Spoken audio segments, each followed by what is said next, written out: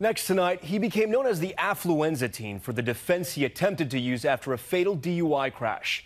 That he was too wealthy to know any better. Now, 20 years old, he walked out of jail today. ABC's Matt Gutman reports.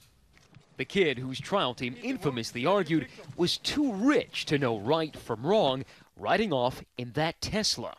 Ethan Couch, now 21, mobbed by cameras as he came out of a probation office this morning.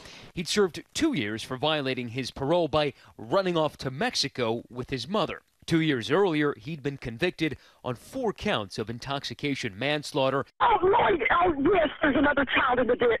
Oh, my.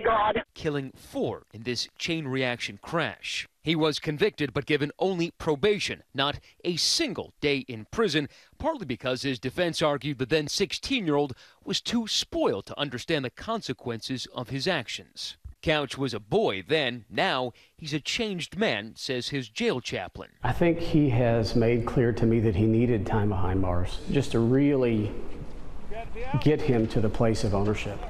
Tom, his attorneys tell us that Couch feels true remorse. Now, he's released, but not exactly free. He'll be under GPS monitoring, have a curfew, and won't be allowed to drink until 2026. Tom. Matt, thank you.